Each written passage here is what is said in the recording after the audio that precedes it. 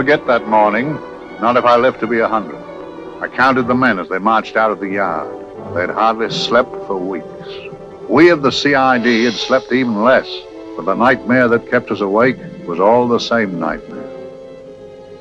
That's why we weren't surprised when the commissioner asked us up to the conference room for a bit of a talk. He'd talked to us plenty, we knew that. It didn't help any to know what was ahead of us.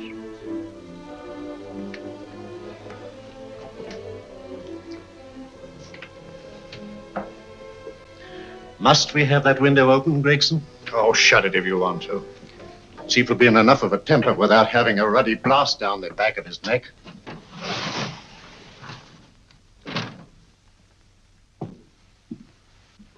Gentlemen, the commissioner. Stuffy in here. Be seated, won't you? Gentlemen, if you wish to know what able men you are, read any of the works of popular fiction that glamorize your achievements, but don't, I beg of you, read the daily papers. They might give you an inferiority complex. I hate to mention it. But we're confronted with a series of the most atrocious murders since Jack the Ripper. And in the meantime, the CID might as well be playing at shove halfpenny for all the good we've accomplished. Now look. Here, here, and here. Each of these red flags scattered through the city stands for a woman brutally murdered, a woman's terror, a woman's death agony. These are no ordinary crimes. These are the works of a fiend who kills first and mutilates afterwards. A ghoul who hacks off a part of his victim body and carries it away with him, a loathsome souvenir of his butchery. Three women murdered so far, and you haven't turned in one clue. You haven't given me one lead. Here you sit and wait for news of a fourth victim with your arms folded.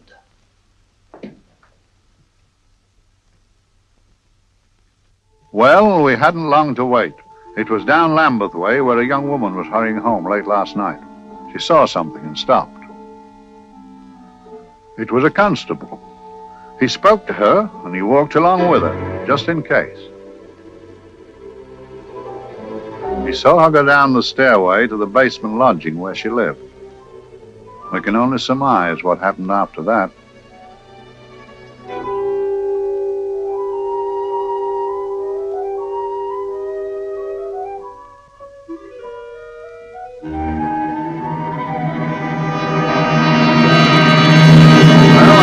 My pride in my pocket and went to see the man who'd so often helped out Inspector Lestrade and myself in the past, Mr. Sherlock Holmes.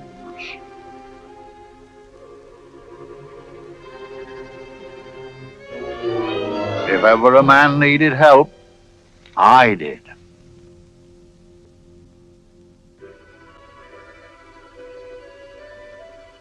This makes four, Inspector.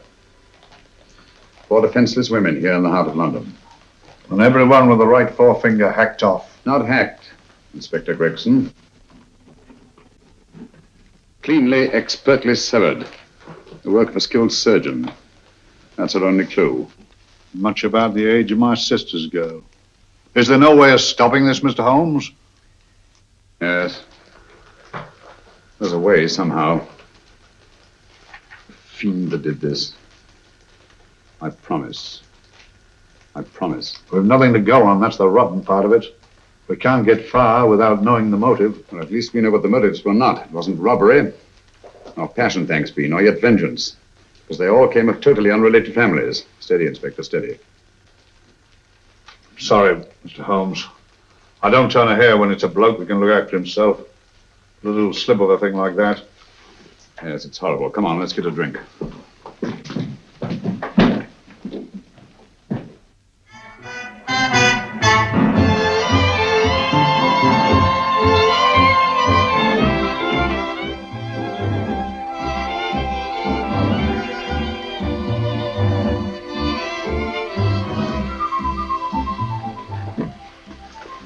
Good Good evening, Mr. Holmes. Evening, Vincent. Whiskey and soda, please, and a double for my friend here, Inspector Gregson. Very good, sir. Make mine Irish. Decent of you to give me a hand with this thing, Mr. Holmes. Always a pleasure to be of help to Scotland Yard, Inspector. Little out of my line, looking for a maniac who murders just for the fun of it. Or perhaps just to get a human finger.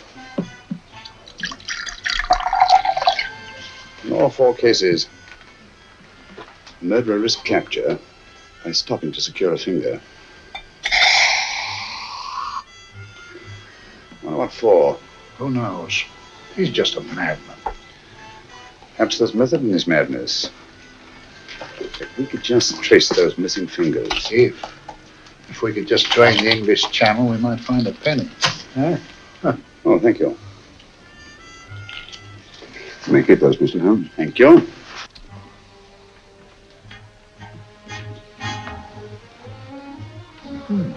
Sir George Fenwick, isn't it? Yes. Is that his daughter with him? Don't be so naive, Inspector. You know everyone, don't you, darling? Well, hardly. A week ago, I didn't know you. A week. How fast it's gone.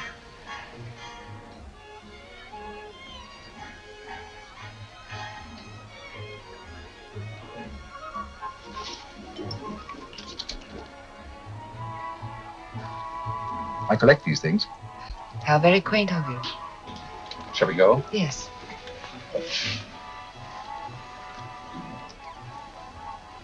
What are you looking at, Mr. Holmes?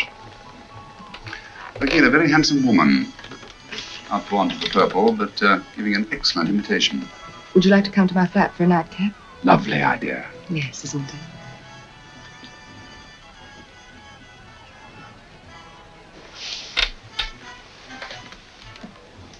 Wonder where she's taking Sir George Fenwick. Don't be so naive, Mr. Holmes.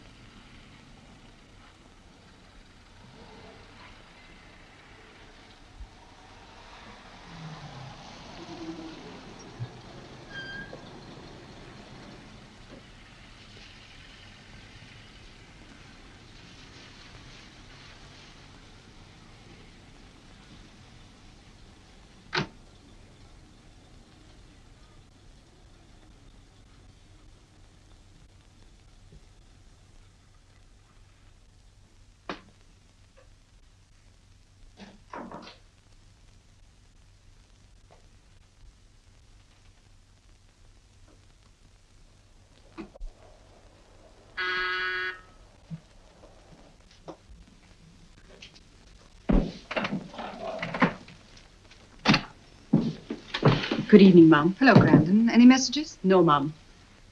Thank you. Uh, drinks, Crandon. One of your nice surprises. Yes, Mum.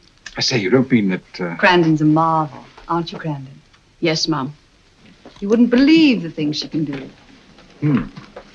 Ah, charming place. Delightful. Really? Do you think so? I'm so glad. Do sit down. Do you mind? Do I mind? What a question. I don't mind anything, really. Except not being with you. Now, you really don't want me to believe that, do you? Not too seriously. Good. We're both quite grown up, aren't we? Quite.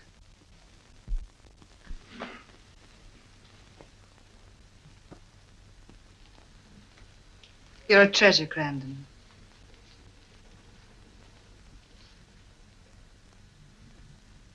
And lower the lights a little as you leave.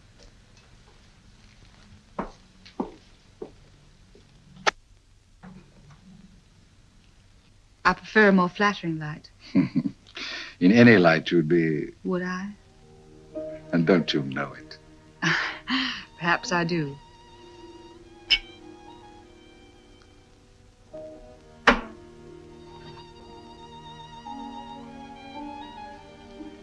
Oh, that priceless woman.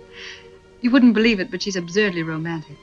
She loves dreamy music and she thinks that we. But uh, we do, don't we? Do we? Well, it's rather soothing, restful. Yes. And we all need rest at times. like tired children who've played too long. You've played with wooden soldiers, I suppose. Hmm. Funny. Hadn't thought of that for years. Toy boats were my special joy. Anything I could set afloat anywhere. Like this. And this. Toy boat sailing into the Never Never Land. The land of beautiful dreams. Look. Look, odd, isn't it, how the light is reflected? Little specks of light that move and move like stars on a slowly moving stream. You know, Holmes, I'm very sensitive to atmosphere. No? Yes, I can tell by the feel of this room there's been a murder committed here. It may interest you to know, my dear fellow, it was the other side of that door at the foot of the stairs that the poor girl was murdered. If only I could find it. Find what? The one thing these unfortunate victims have in common that might give us a motive for these murders. There must be something. Another Jack the Ripper, if you ask me, a homicidal maniac. No, Watson. In the case of Jack the Ripper, there was one thing in common. His victims were all from one walk of life, living in the same section of the city. In this case, the murderer chooses his victims from all walks of life and from different sections of the city. No, my dear fellow, this is not the work of a homicidal maniac. It's something infinitely more sinister. Give me the creeps. What on earth are you talking about? Watson, I'm convinced that these murders are only incidental to some larger and more diabolical scheme. That may be, but why the severed fingers? The answer to that question, my dear fellow, is our only hope of solving these mysteries. Dear sister, I am so happy. I had such a lovely holiday at Brighton with you and Alf. And I'm looking forward to being with you again. Poor little thing. Sort of raises a lump in your throat. I can picture her sitting here happily writing this letter. And a not bit realizing that she's shortly going to her death. Hello? Gregson. Oh, there you are, Mr. Holmes. I've been looking for you everywhere. What's happened? Murder in Edgware Road, not half an hour ago. Woman? Yes. And the right forefinger cut off clean.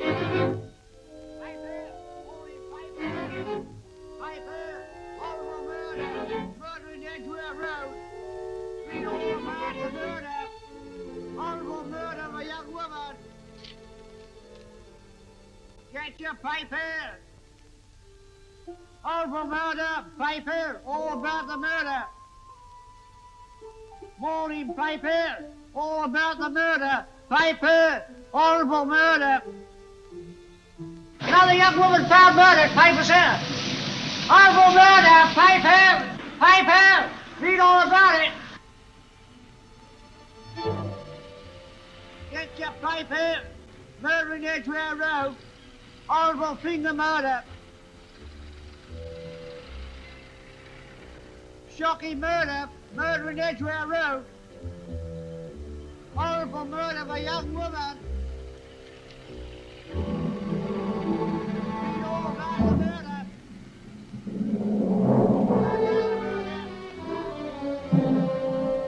Only fancy, Mum. There's been another of those horrible murders. Dear, dear, how shocking. Yes, Mum.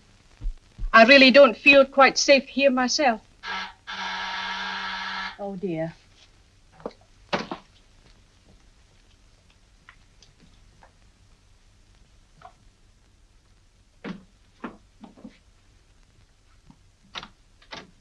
Why, Sir George! I must see Miss Marlowe at once. I, I don't know I, if she... I must see her. Where is she? Lydia, Why, Sir George, what is it? What happened? I don't know. You'll have to help me. You've got to help me. But I don't understand. Listen, I woke up a few minutes ago in a cheap boarding house off Edgware Road. I don't know how I came there. I don't know when. The last thing I remember is being here with you. Calm yourself, Sir George. When did I leave here? Well, it was about, uh, Uh, it was 10.45, Mum. Precisely. You seemed, uh, forgive me, just a little distressed. Detached, not interested. I thought I'd said something to offend you. I don't remember.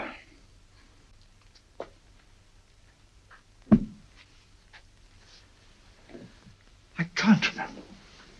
Tell me, has this happened to you before? Before? Well, there is such a thing as amnesia, you know. If it was 10.45 when I left you, it was 9 this morning when I woke.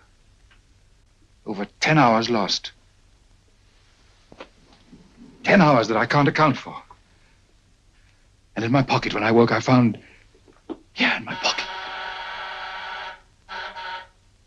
That, that, that isn't... Oh, it's not for you, of course. It can't be. Excuse me, Mum, but there's a man asking to see the gentleman. Send him away. Yes, Mum. No, no, no, no, no, please. I'll see him.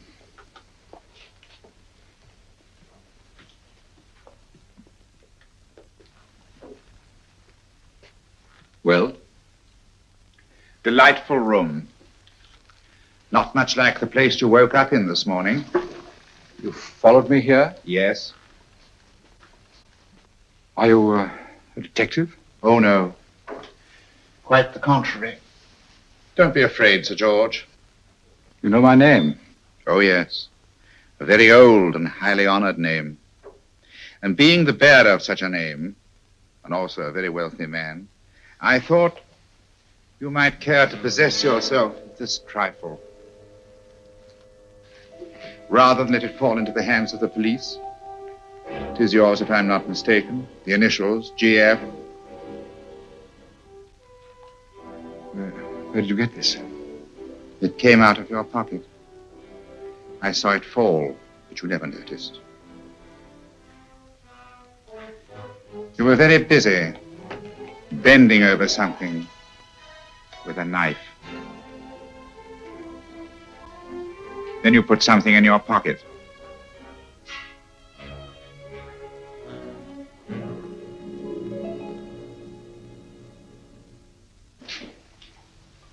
Come along, Holmes, come along, come along.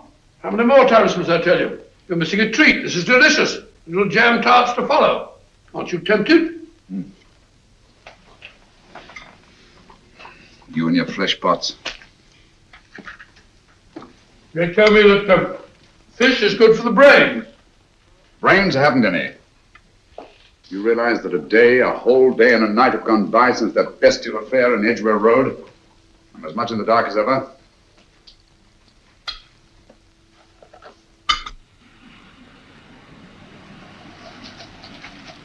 Hello, here comes a client, unless I'm very much mistaken.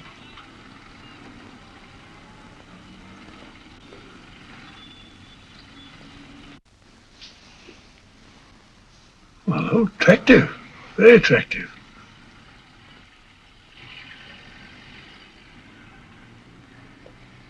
Obviously, she left home under the stress of some very great emotion. How do you know that? She isn't wearing any gloves. A startling omission in a young lady of fashion. Oh, she didn't put her coat on. Open car, too.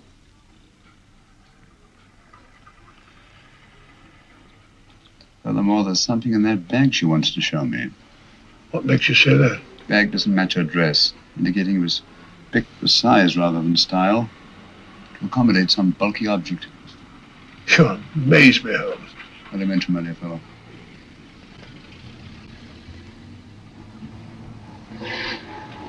Well, that's interesting. What is?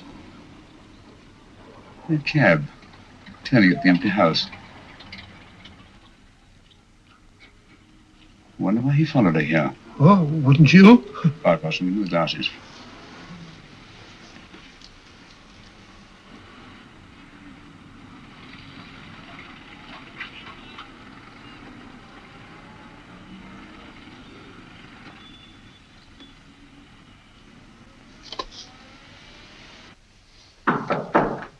Well, we shall soon know. Yes, Mrs. Hudson? It's a young lady, sir. Most urgent. Ask her to come in. Go right in, miss. Mr. Mr. Holmes? Yes, this is my friend, Dr. Watson. How do you do? How do you do? Mr. Holmes, I... You must excuse me, please. I... Yes, well, won't you sit down? Uh, come along. May I? It's quite all right. Thank you.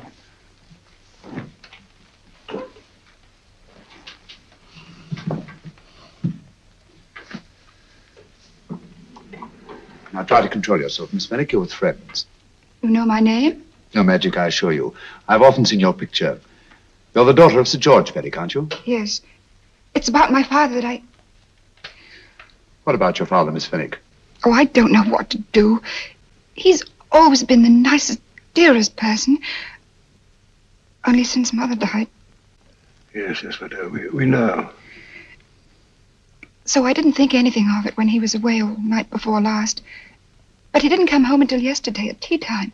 Didn't come in for dinner at all. Just paced up and down in the library hour after hour. I begged him to let me in, but he wouldn't. Steady, steady. Now take your time. I couldn't sleep a wink last night. Then I started hearing things. Hearing things. What sort of things? I heard someone in the garden underneath my window. Then I saw a figure moving down the garden path, and I recognized my father, stealing through his own garden like a thief.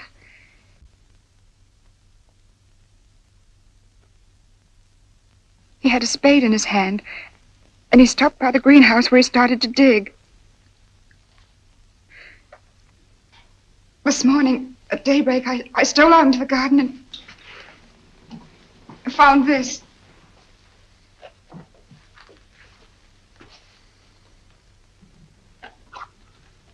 A finger. A human finger. Bring up Scotland Yard, will you, Watson? Ask them to get hold of Inspector Gregson and tell him to meet us at once at George Fenwick's house, Kingston. Operator, get me Scotland Yard quick. Where's my father, Norris? He's still in the library, miss. Thank you. We'll see him right away. Will you come with me, please? Thank you. I got your message, Mr. Holmes. Yes, indeed. Dad, may I come in? Dad. It's funny. He doesn't answer. You mind? Please do. Thank you. Watson, quick. Oh, Come along, no, my dear. no, no. Take charge, uh, Miss Fenwick, please. Sorry, sir. Now, miss, please. Please come along with me.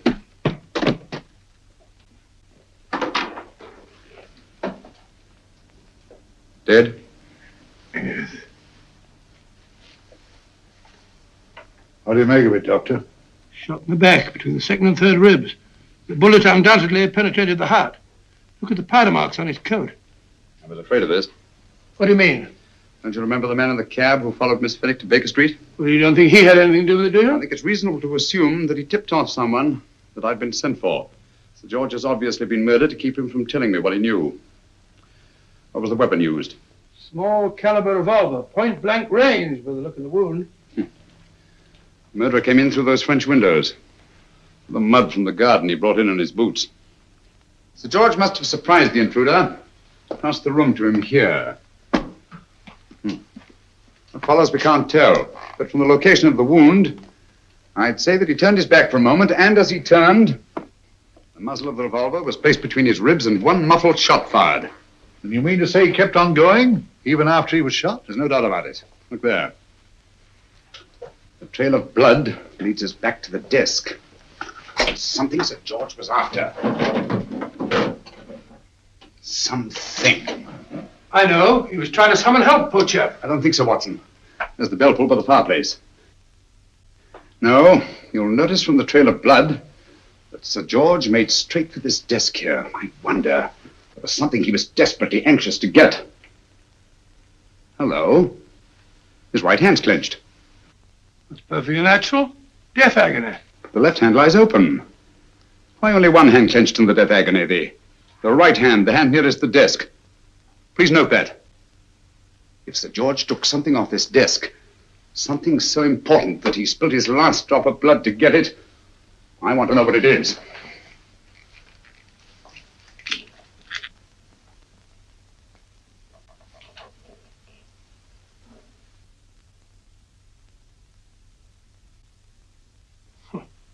Nothing but an ordinary match folder.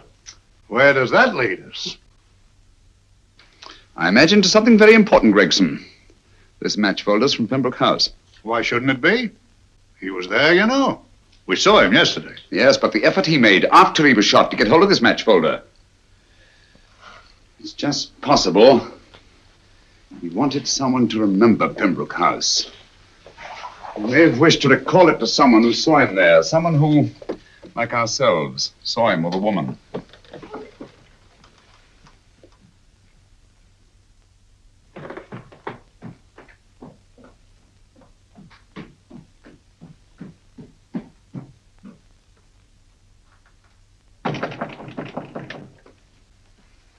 Come in. Oh, Dr. Watson, this came by hand for Mr. Holmes not ten minutes ago. Thank you, Mrs. Hudson. That would be the report from Mr. George's bank. Report from Sir George. Oh, really? Don't you remember his daughter told us that he'd just closed his account? Had it looked into at once. Hmm.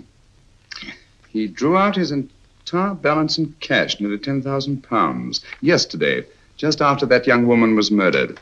What does that suggest to you, Watson? But he paid it out to someone. Precisely.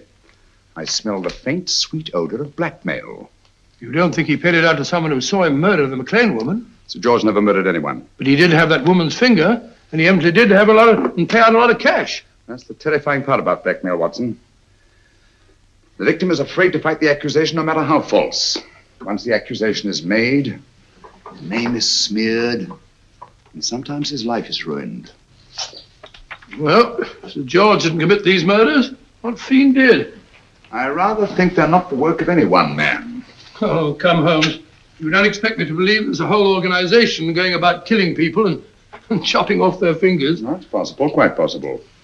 Well, wh- whoever's behind all this thing must be out of his mind. On the contrary, my dear fellow, if my assumptions are correct, this little scheme has behind it the most brilliant and ruthless intellect the world has ever known. You don't mean Professor Moriarty? I do. Oh, steady, Holmes. You've got him on the brain. This is the third time in as many months you've suspected him of unsolved crimes. He's dead, you know. Is he? Is he? You know he is. He was hanged in Montevideo, well, over a year ago. I know that someone was hanged in Montevideo under that name, but I'll stake my reputation that Moriarty is alive and here, now in London. Hello? Yes, but Dr. Watson, wait a minute. You me? Well, yes. This is Dr. Watson speaking. No, no, I'm afraid I've retired. I don't practice anymore. What? Oh, that's a, that's a different thing. An emergency case. Well, just a minute. Yes? Yes, well, see, she's not moved. Remember that? Don't touch her till I get there. Fractured case in, in McCardle's Mews. Heavy woman. 14 stone. Look at dust. 14 stone. Just the sort of person who would hoist herself up on a stool to feed the canary. There ought to be a law against fat people keeping little dicky birds. Well, so long, old man. I shan't be very long. Haven't used that bag since I brought little Amelia. What's her name in the world? She grew up to be a very unattractive child. Oh, who wouldn't with a name like Amelia? Amelia. Amelia.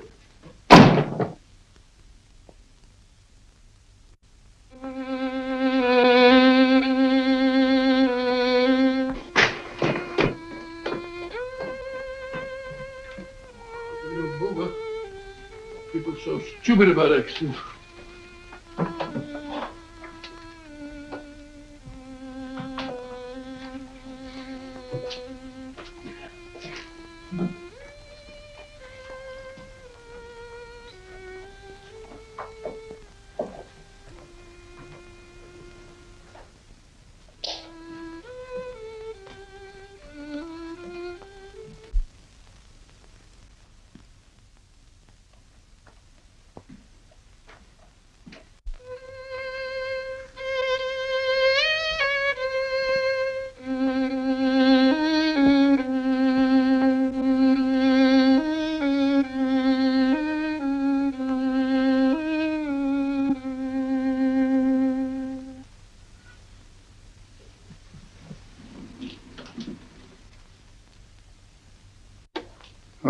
Professor Moriarty.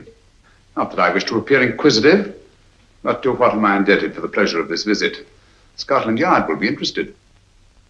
It's very convenient for me to have Scotland Yard think that I'm still dead in Montevideo. I never dreamed of fooling you. Thank you. The thought occurs to me, Mr. Holmes, that there are some advantages in living within the law. You're very comfortably fixed here, aren't you? As I get on in life, the little comforts appeal to me more and more. Oh, I beg your pardon. Won't you sit down? Thank you.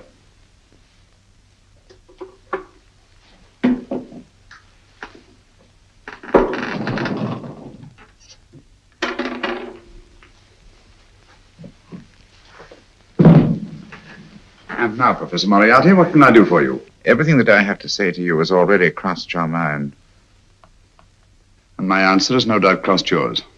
That's final? What do you think? I shall not rest until you are hanged for the finger murders. You've no proof, you know. No, not a shred. But I have you. I could turn you over to the police here and now. You could. But if you did, you'd never see Dr. Watson again. Oh, the telephone call. Quite. I rather assumed you had taken some such precaution. Or I should have snatched up a revolver and indulged in a fit of heroics when you came in. Very smart, aren't you? Not smart enough. Or I should have anticipated you. But if any harm comes to Dr. Watson, I shall seek you out. I shall not rest until I find you, and when I do. No harm will come to Dr. Watson this time. But I can't answer for the future. Mr. Holmes, I should strongly advise you to drop this case. Don't be silly. Think it over. We've had many encounters in the past. You hope to place me on the gallows. I tell you, I shall never stand upon the gallows. But if you are instrumental in any way in bringing about my destruction, you will not be alive to enjoy your satisfaction. And we shall walk together through the gates of eternity, hand in hand. What a charming picture that would make. Yes, wouldn't it? You know, I really think it might be worth it.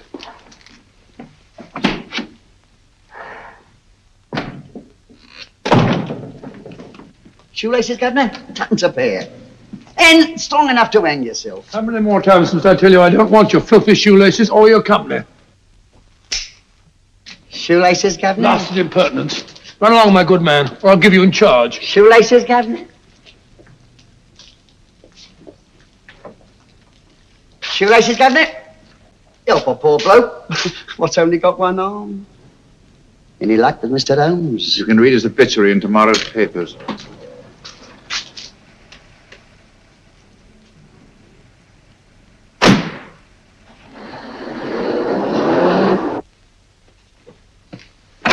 Oh, there you are, Watson. Come in. I was, um, just going out to look for you. Look for me what for? Suppose you don't think I know my way about. Well, you're right, I don't. Blast all practical jokers anyhow. Know where I've been? On a wild goose chase. Exactly. There's no such number in McCardle's Mews. Some fool's idea of a joke. Did you, uh, did you see anyone? No, nobody especially. Only a whining old idiot selling bootlaces. Persistent beggar, wasn't he? Stuck to you like grim death. Huh? How do you know? And finally left you for someone who looked like Better Pickings. Someone, my dear Watson, was Professor Moriarty himself. What? He's Just called on me. Moriarty here and you let him go? But you must be out of your mind. Why? Well, he bluffed me into believing that he was holding a friend of mine as hostage. Friend of yours who? Oh, nobody very important, just a fat, lazy fellow. Medical man, I believe. Medical man? Do I know him? Uh, yes, I think you do. Uh, fellow by the name of Watson. Watson, Watson, never heard. Who? Me? I'm afraid so, old fellow. Your street hawker's job was to do away with you in a certain contingency. And you let Moriarty go? Because of me? I had no choice. I can't afford to lose you, old fellow. Well, it's very decent of the old chap, I must say, but. Uh, well, uh, I wish you'd nabbed him. We shall, never fear. I know the motive for the finger murders. All I have to find out now is the method used with the blackmail victims. Method? Yes. How does Moriarty get them to the scene of the crime? How does he plant those severed fingers on them? And how does he scare them into believing that uh, they may have committed those atrocious murders themselves? Curious.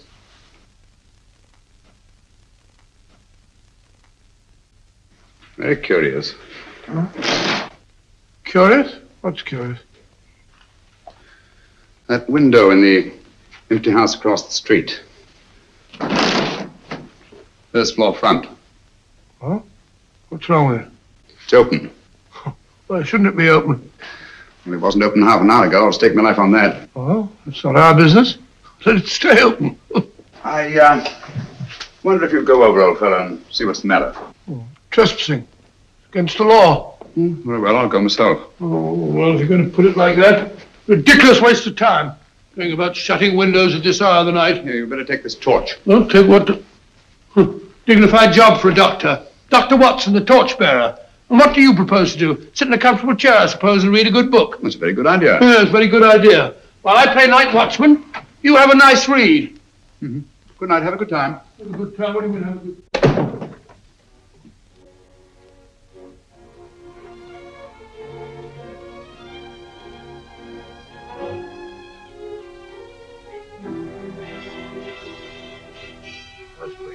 What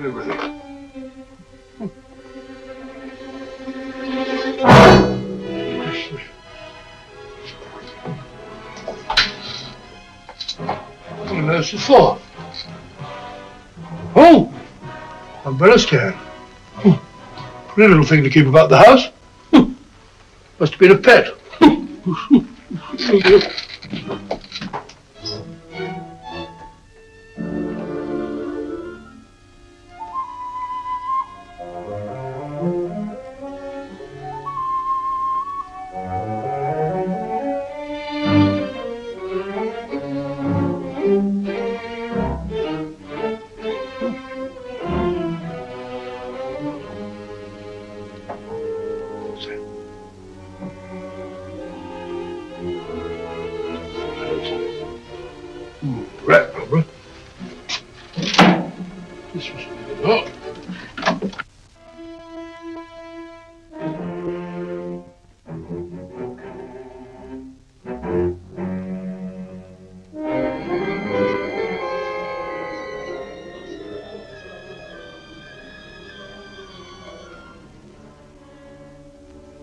Sits comfortably reading a book.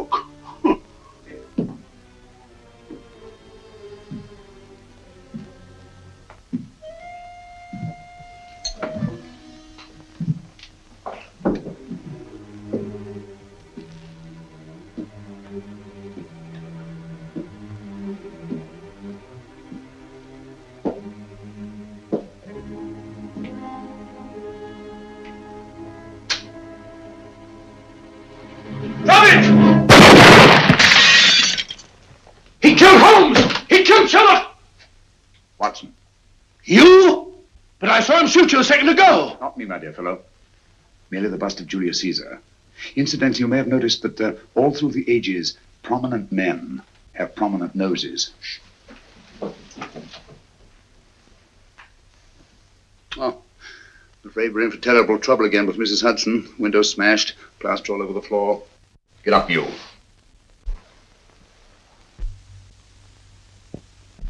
Corporal Williams, Middlesex Regiment.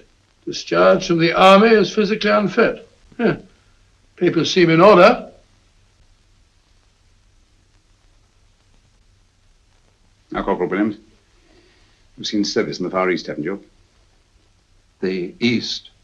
I thought so. Look at his complexion, Watson. Yellow as saffron. He's been taking atabrine. Cure for malaria. Sniper, aren't you? Sniper. Hmm. Why did you try to kill me? I had to kill him.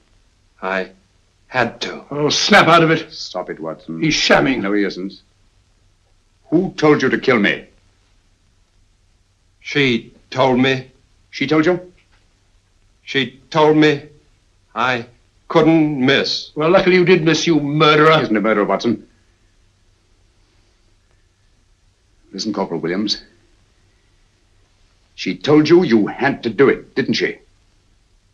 I had to do it. I've got it, Watson. I've got it. Got what? The method used in the finger murders. Well, what is it? Hypnotism, my dear fellow. Hypnotism. And it wasn't against his nature. That's the devilish part of it. They picked a man for their purpose whose job was sniping. Who are they? Professor Moriarty and his finger murderers. Williams spoke of a woman. I think you'll find that she asked him home tonight for a drink. Nice quiet rooms, soft lights, music. You've got it all pat, Mr. Holmes. What's the lady look like? Oh, uh, up 30, nice figure, blonde, lustrous eyes. Oh, really? Got a phone number? Oh, so? Williams will give us her address. Look after him, Gregson. Don't let anyone come near him. He's our key witness in the finger murders. Well, I hope you're guessing right, Mr. Holmes. Get up, Williams.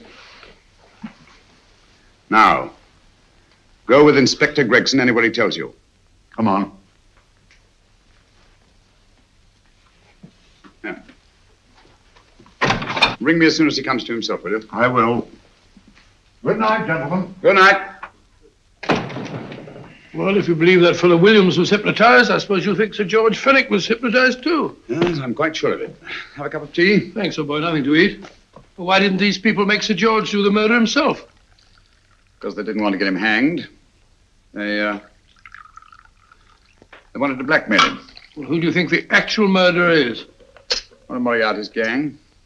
A diabolically simple technique. Kill a woman. Yes, yes, yes. But, but why cut off the fingers? My dear fellow, don't you understand? The severed finger is what links the blackmail victim to the murder. He wakes, finds the grisly thing in his pocket. Doesn't know how it got there. He's no idea that he's been hypnotized. For all he knows, he may have committed the atrocious crime during some dreadful lapse of sanity. In that state, when he's utterly demoralized, the blackmailers take over. Is that it? Undoubtedly. You see, they swear that they saw him commit the murder. And being human, the victim will pay anything rather than stand trial on a charge that will make his very name loathsome. Oh, it all fits in if you believe in hypnotism. The only possible explanation. You think the hypnotist is that uh, woman with the blonde hair, the lustrous eyes, the, the woman you invented? I didn't invent her. I saw her. What on earth are you talking about? That woman, my dear Watson, was with Sir George when he left Pembroke House. I saw her there. I shall see her again, and Williams will lead me to her. That's why it's so important to keep him safe. He will identify her.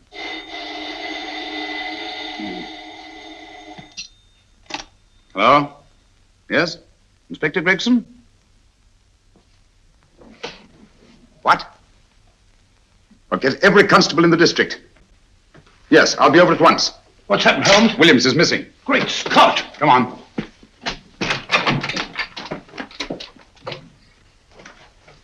Lorry crashed into Gregson's car. During the confusion, Williams disappeared. Escaped, eh? No, kidnapped. To keep him from talking when he came to. You don't think that Moriarty... Moriarty? Anything is possible.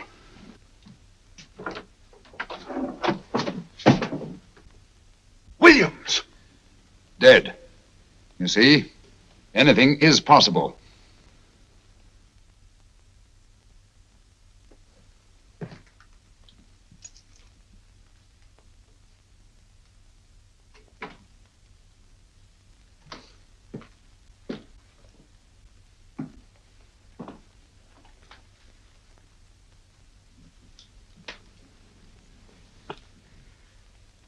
Oh, good morning, Professor Moriarty.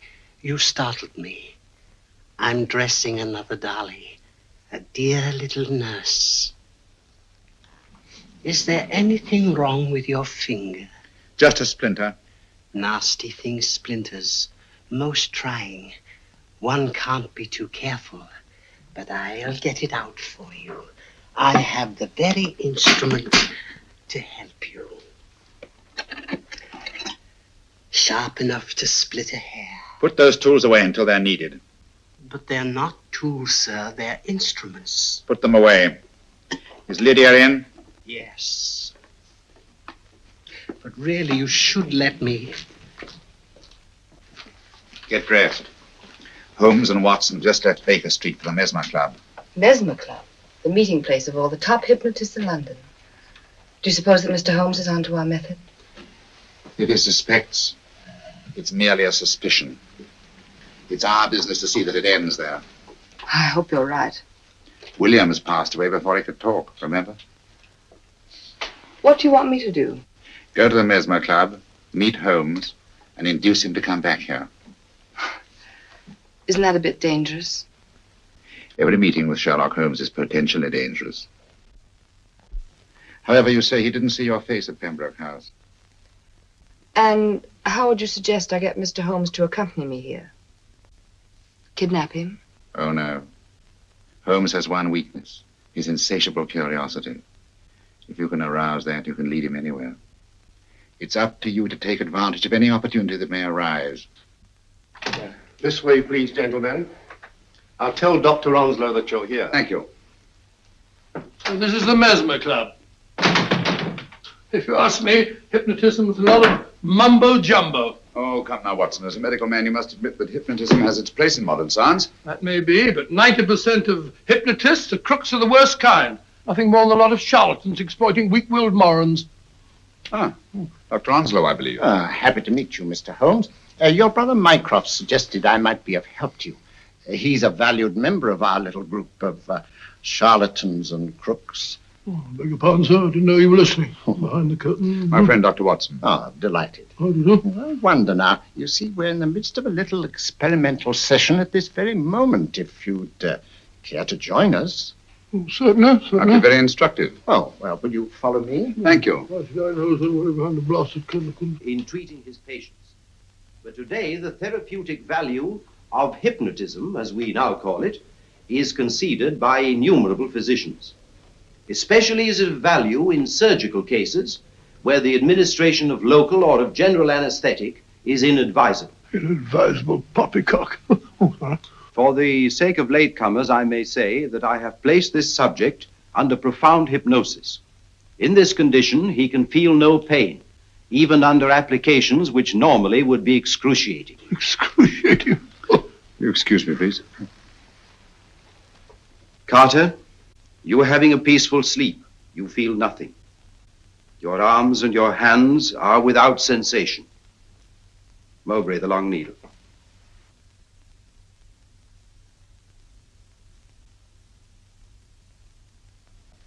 Carter, give me your right hand.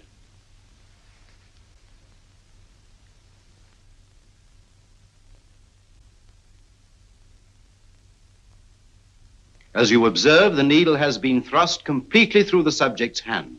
No feeling, no pain. This lack of feeling is the one infallible test of profound hypnosis. Nonsense. Fellow's full of drugs. Oh, isn't he? Definitely not, Doctor. Wake up, Carter, wake up. You feel well and rested, remember. No pain anywhere. Wake up, wake up. I say, when are you going to begin? All through, Carter. Stand up. This way, sir. And, uh, are these all the people that come here? Oh, no, no, no. Others keep dropping in all the time. I suppose it's all right for those who believe in it, but of course, I'm a professional man myself. Then you don't believe in hypnotism, Dr. Watson. I don't deny that there are certain types of hysterical, feeble-minded people who go under if you point your finger at them. But anyone with a with an ounce of character. How right you are. You see right through our little artifices, don't you, Doctor? right through, my dear sir. Right through. Right so. But with the feeble-minded, as you say... Uh, excuse us, Mr. Oh, Holmes. certainly. Uh, step over here, won't you? Certainly, sir. Anything to oblige. Let me show you how easily we charlatans uh, take advantage of them. Now, sit down, Doctor. Now, we set a thing like this in motion. It's wonderful, the attraction on the feeble minded, of course. The continuous motion, if they just let themselves follow it. Of course, you could stare at it till doomsday, Dr. Watson, with no effect at all. Still, it might make you a little drowsy, like the white ribbon of road at night when you're driving. The rhythm is smooth, unbroken, and the road goes on and on, round and round, always the same, winding and winding. And you're drowsy, you're tired. Let the road come into you, as it were. The long road, the smooth road, the road to sleep. Sleep.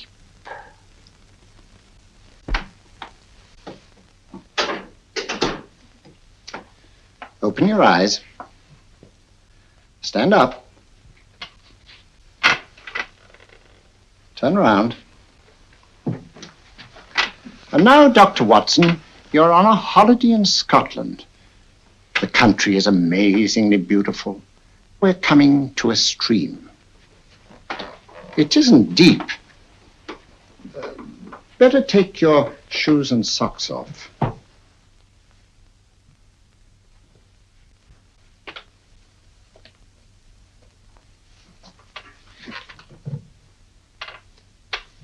Roll up your trouser.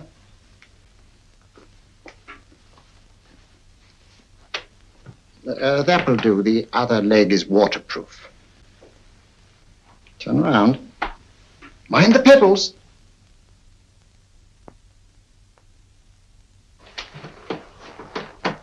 Sit down.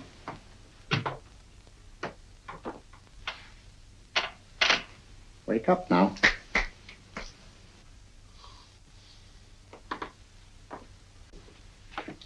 There, I see. What did I tell you, it didn't work with me. Why, nobody with an ounce of character. Hmm? Hmm? I think you'll need these.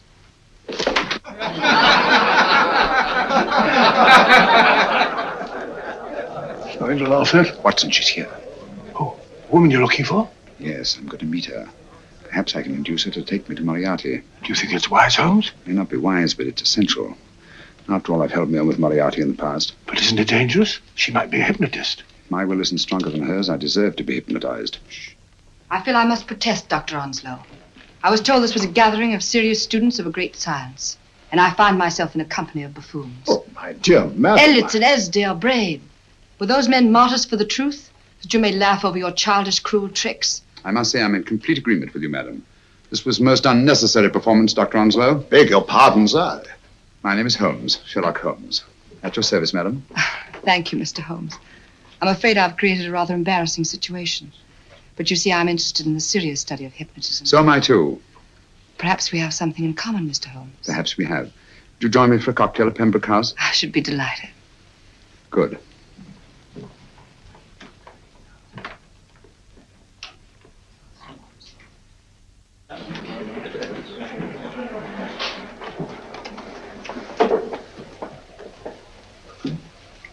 Thank you. I didn't know there was such a pleasant place in London. It was so nice of you to suggest our coming here. I thought a little pick me up would do us good. You mean you thought I looked. Uh... I like the way you look. Thank you. I suppose I did lose my head a little at the Mesmer Club. But you see, hypnotism is almost a religion with me. I know so well what it can do to help, heal. And I can't bear to see it used for trivial purposes. I know very little about it. That's why I went to the Mesmer Club. You see, I'm rather puzzled just now with the case that I'm working on. How fascinating. Tell me about it. It's the murder of Sir George Fenwick. Fenwick? Who's he? Quite a well-known figure. Odd now I come to think of it. Last time I saw Sir George was here at Pembroke House. Strange. Yes, isn't it? He was sitting, um, I believe he was sitting at this very table. Cigarette? Thanks. Do go on. There was a charming lady with him. He was, uh, he was lighting a cigarette.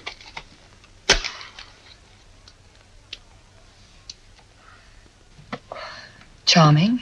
Did you see her face? No, Westlock. Merely her back. How unenterprising of you. Yes, wasn't it? Afraid I'm getting a little older. I shouldn't say so. That's nice of you. Still, the first time in my life, I've got hold of a case that's beyond me.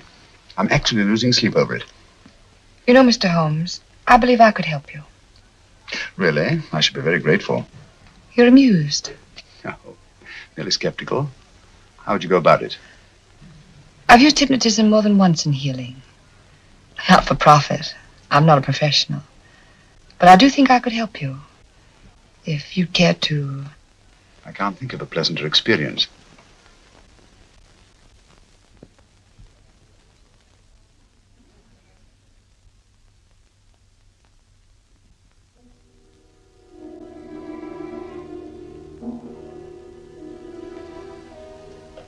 Low lights, music, is that all there is to it?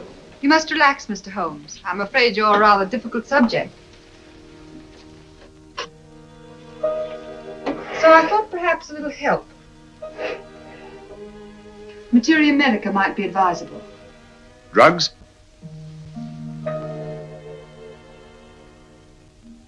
No, I'd rather not, if you don't mind. As a matter of fact, I'd rather not myself. But Schrenck-Notzing, he practiced in Munich, you know. Believed it the best means for difficult subjects. Do you mind? Well, as a matter of fact, I don't approve of sedatives. Just as you wish. We don't have to go on with this at all, you know. Wait a minute. Wait a minute. All right. I'll take a chance. It's really quite harmless. What is it? Cannabis japonica, an oriental soporific. You need water.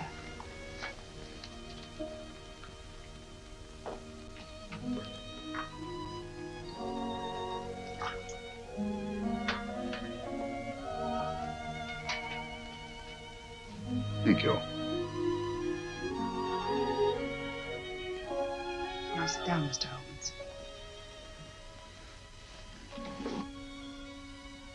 You feel yourself growing drowsy. Don't fight it. Give in to it. Because you do want to sleep, you know. Just fix your eyes on this one white flower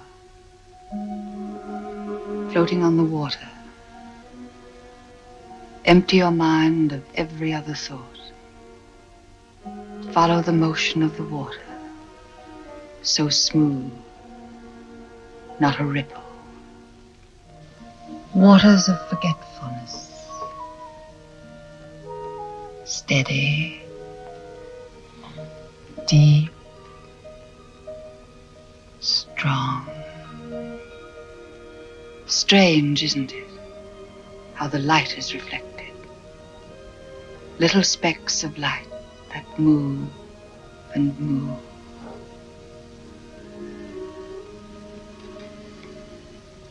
It's restful here. It's peaceful. It's friendly. And you're very close to finding what you're looking for. You'll find them soon now. The guilty ones.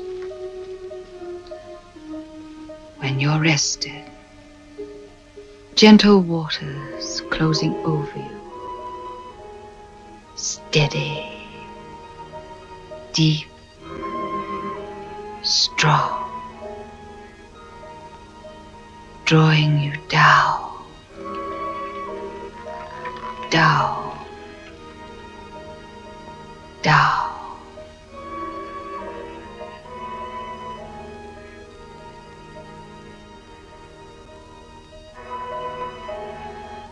Sleep.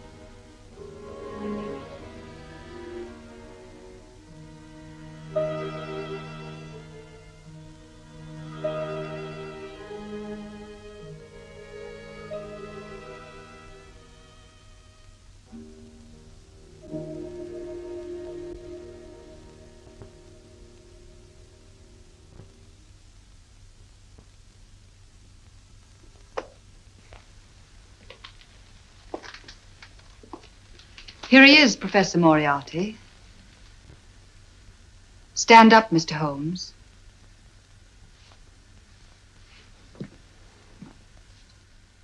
Open your eyes. Face this way. Are you satisfied? We are dealing with a clever man. He may be shamming. There's just one infallible test for profound hypnosis. You ready, Dr. Simnel?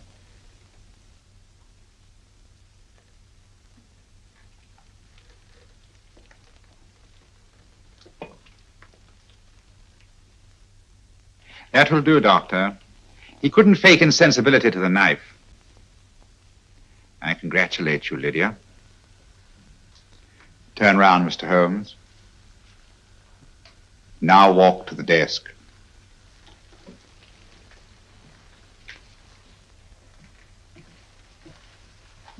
Sit down. Take that pen and write what I tell you to write. I have at last found a case which I cannot solve.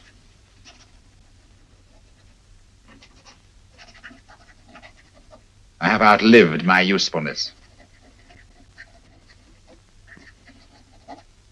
Therefore, I have decided to end my life.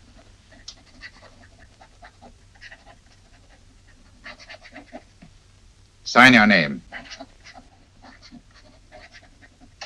Now blot it.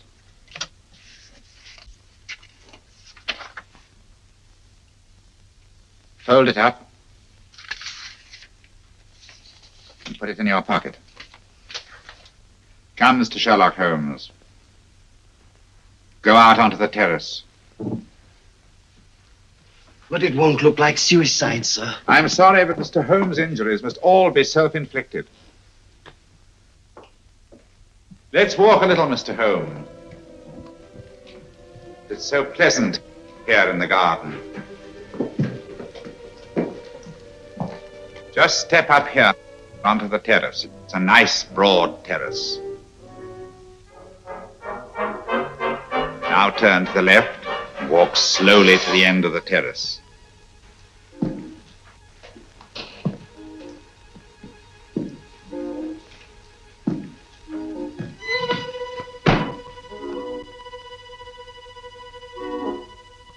Don't stop. You must walk to the end, you know.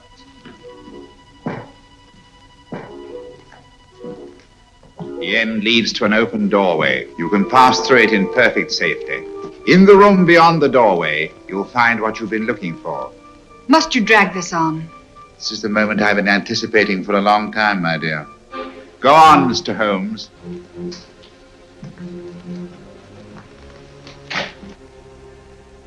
Through the open doorway, you will find the man responsible for the finger murders and the death of Sir George Fenwick.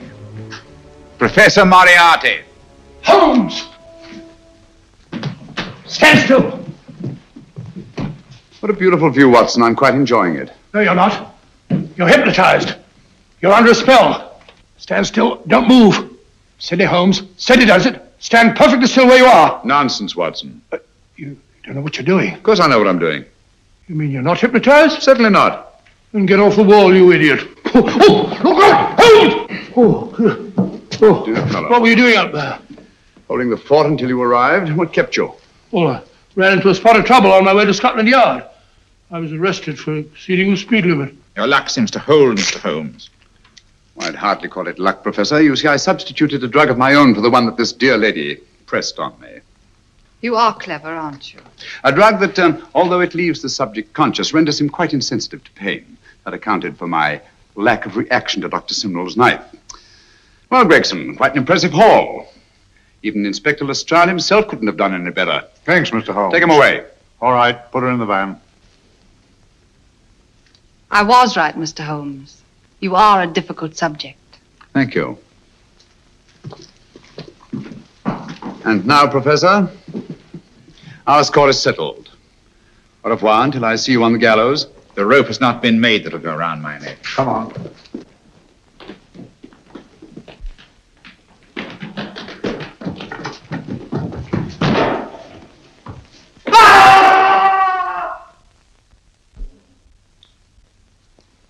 Take care of things, Mr. Holmes. Thank you, Inspector. Come on. An evil man, Holmes, but what a horrible death. Better than he deserved. What are you thinking of? I'm thinking of all the women who can come and go in safety in the streets of London tonight. The stars keep watch in the heavens. And in our own little way, we too, old friend, are privileged to watch over our city.